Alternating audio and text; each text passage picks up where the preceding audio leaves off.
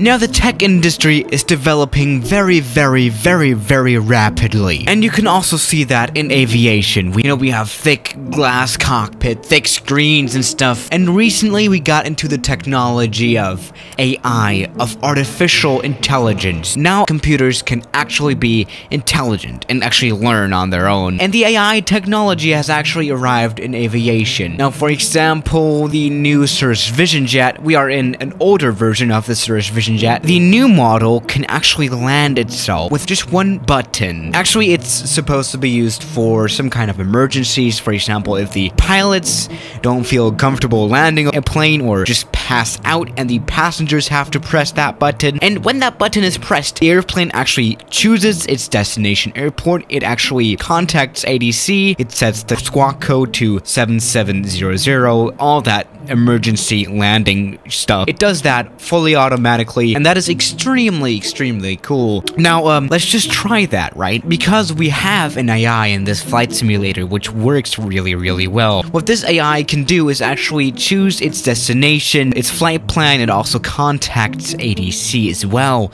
It's extremely interesting. I don't know how it does that. Let's just challenge that one today, that, uh, AI thing. It also lands itself, by the way, and it even taxis itself. I don't know how it does it. Again, I am just confused at this point. But let's just spawn onto a runway. I think that's a little bit easier. SJX Vision 2 Zulu Foxtrot. Okay, so it has requested IFR clearance to some kind of airport. Turning on the engines, it's putting down the flap. So it is actually taxiing to runway 04 right, which is right there, and it's actually going to hold short, right? It is taxiing. The plane is taxiing on its own. Isn't that just amazing? Okay. It's taxiing. That's it's just normal, right? I'm very excited to see what this plane is going to do, how it's going to fly, right? Which entry point is it going to use? Okay, it's going to use this one. Please hold short properly. Oh, no, no, no, no, no. Okay, we're cleared for takeoff, so it's it's going to take off, right? Now we are taking off from Nice airport and we're flying to an airport also in the south of France. So this flight will not be too long and therefore this video will not be unnecessarily too long. Okay, 100 knots. We're a bit late for a rotate. Maybe we should should rotate please. You might want to rotate now. 130 knots, please rotate. 150 knots, a bit very close to an overrun. Even though we gotta say that the Cirrus Vision Jet does need quite a long runway. We're just normally climbing. Meanwhile, the ATC hands over the plane to another frequency. That is very interesting. Now, before I made a video about it, but I kind of failed to use the AI, but now I managed to use it properly and I'm getting a call right now. That's not good, but I can actually answer the call since I'm not, you know, I don't need to, uh, concentrate on flying, right? Okay, that's maybe the definition of autopilot, but this is not autopilot. This is actually using its AI things. Oh, and here's our arrival airport. It is around 56 nautical miles away. This flight should not be longer than half an hour. Now the airport, which is here, that the AI chose to fly to, it made a choice on its own, has regularly sized runways. Longest runway is 2,000 meters long, and the shortest is 1,900 meters. That is definitely enough for the Cirrus jet to land. Yeah, the Cirrus Vision Jet is a really, really nice plane. It's a nice private jet. It's a pretty cheap private jet as well. It's pretty much the cheapest jet you can get. It's still like $3 million depending on the configuration, but we're just casually flying over France. Our origin airport is over here. Yeah, we can open the door, but we should probably not do that. Oh, oh, oh, we just opened the door. That's not good. All good. SJX Vision.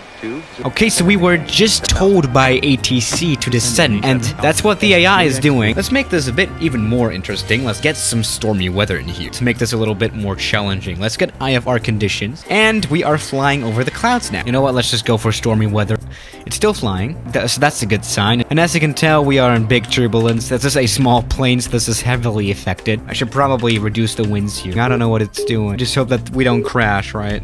uh, you're supposed to maintain 5,000 thousand feet though. Stupid AI. Let's get some good weather in here because we have already learned that AI does not really care about weather after all. Oh my goodness, that descent rate, 3,500 feet. You're trying to kill me, plane. Whatever you want to do, right? A bit low over the ocean. I don't like that. I wonder if there is an emergency, if AI is going to pull CAPS as well, the parachute, but we should not test that right now. Damn, as a student pilot, I'm actually worrying about AI actually being able to basically fly on its own. Center SJX Vision 2 Zulu. On. You have the field in sight. Yeah, you don't have eyes though, you cannot see the field. Right, it's putting flaps to 50 degrees. We are extremely low. We're around 18 nautical miles from the airport. But whatever you want to do, here's the airport. We have it in sight. This is runway 31. I wonder what the butterscotch in this plane are. Oh, oh, we are descending very rapidly. Because we are about to land in the ocean, quite literally. We're descending at a very, very high descent rate. I wonder what it is thinking now. Does it think that it's good on the glide slope? Because it isn't. Oh my goodness. You know, I told you earlier that I'm worrying about AI being able to take over, you know, the pilot seat. But, uh, but you know, I have to kind of rethink that. Alright, we're about to land in the ocean. Good job, AI. Still trying to fly, but it's it's not going to work, buddy. So I think we don't even need to challenge this AI because it crashes on its own into the ocean. Now, something might have gone wrong. There might have been a bug or something. Yeah, no. So yeah, guys, uh, thank you for watching today's video, and I'll see you tomorrow. As always, good night.